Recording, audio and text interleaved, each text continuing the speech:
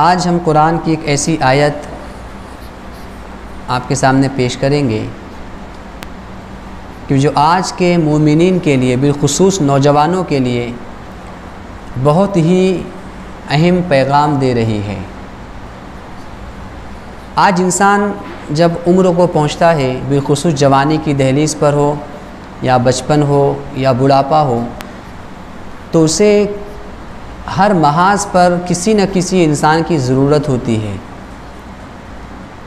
یوں کہہ لیا جائے کہ ایک دوست کی ضرورت ہوتی ہے اور آج کے دور میں انسان ہمیشہ اس بات کے حوالے سے فکر مند ہوتا ہے کہ دوستی کس سے کی جائے۔ دوست کسے بنایا جائے؟ آج انسان دوستی کا معیار یہ تصور کرتا ہے کہ مالدار ہو تو دوستی کی جائے، خوبصورت ہو تو دوستی کی جائے، طاقت و قوت والا ہو تو دوستی کی جائے۔ انسان ان تین معیار پر کسی سے دوستی کرتا ہے۔ اب اگر ان تین معیار پر کوئی غیر مسلم ہی کیوں نہ اتر جائے، تو انسان اس سے بھی دوستی کر بیٹھتا ہے۔ کہ غیر مسلم ہے، طاقت ہے اس کے پاس، دولت ہے، مرتبہ ہے، ہمارے کاموں کو کر دے گا۔ تو انسان ایسے غیروں سے بھی دوستی کر بیٹھتا ہے۔ تو اب دیکھیں ہمارا رب اس سلسلے میں ہمیں کیا فرمان عطا فرما رہا ہے؟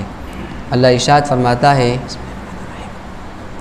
یا ایوہ الذین آمنوا لا تتخذوا الكافرین اولیاء من دون المؤمنین اتریدون ان تجعلوا للہ علیکم سلطانا مبینہ اے ایمان والو، مسلمانوں کو چھوڑ کر کافروں کو دوست نہ بناؤ۔ کیا تم یہ چاہتے ہو کہ اپنے اوپر اللہ کے لیے سریح حجت قائم کر لو؟ اللہ اکبر۔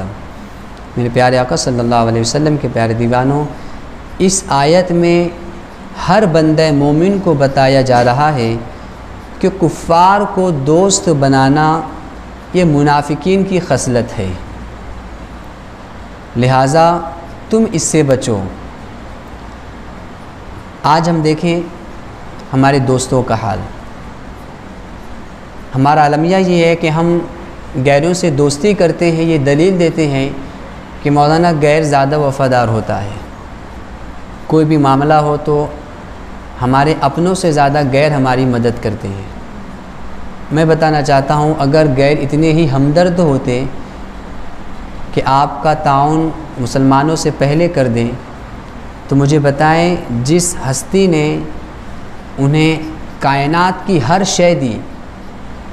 اگر وہ اتنے ہی ہمدرد ہیں ہمارے، تو اس ذات پر ایمان کیوں نہیں لے آتے؟ ہیں اس ذات کو اپنا معبود کیوں نہیں مان لیتے؟ ہیں تو پتہ چلا وہ ہماری ہمدردی کچھ مطلب کے حوالے سے کر سکتے ہیں، لیکن جب ہمارے رب کے نہیں، تو وہ ہمارے بھی نہیں۔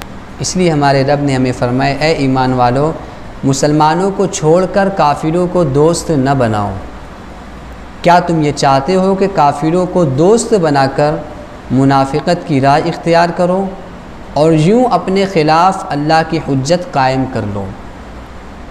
اب یہاں یہ بھی سوال ہو سکتا ہے کہ جب کافروں کو دوست نہ بناؤ، تو آج کے دور میں ہمارے بہت سارے معاملات غیروں کے ساتھ بھی ہوتے ہیں۔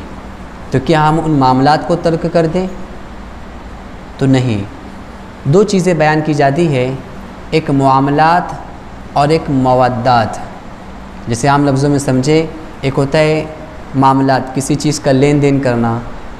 اور دوسرا ہوتا ہے لین دین کرتے کرتے دل میں محبت پیدا ہو جانا۔ تو دو چیزیں ہیں، آپ غیروں سے معاملات کی حد تک تعلق رکھ سکتے ہیں۔ کاروبار ہے آپ کا، کچھ چیز کا لین دین کرنا ہے، تو یہاں تک تو ٹھیک ہے۔ لیکن مودت جسے محبت کہتے ہیں، جیسے مثال کے طور پر کسی مومن نے آپ کی کسی مشکل کو حل کر دیا، تو اس اس سلسلے میں دو جذبہ پیدا ہوتا ہے۔ ایک تو اس مومن کی محبت پیدا ہوتی ہے اور ایک دن میں یہ خیال ہوتا ہے کہ نہیں، یہ انسان بڑا اچھا ہے۔ تو یہ چیز مومنین کے لیے صرف جائز ہے کہ دل میں محبت بھی پیدا ہو اور اس کا احسان بھی مانا جائے، لیکن غیروں کے حوالے سے دل میں محبت نہیں پیدا کرنا چاہیے۔ کاروبار کی حد تک لین دین کے حوالے سے معاملات ان کے ساتھ کر سکتے ہیں، لیکن محبت کے حوالے سے اپنے دل کو ان سے پاک رکھیں، اسی میں کامیابی ہے۔ اللہ تبارک و تعالی ہم سب کو اپنے دوستوں کے حوالے سے قرآن کی روشنی میں دوستی کرنے کی توفیق عطا فرمائے۔ الفاتحہ۔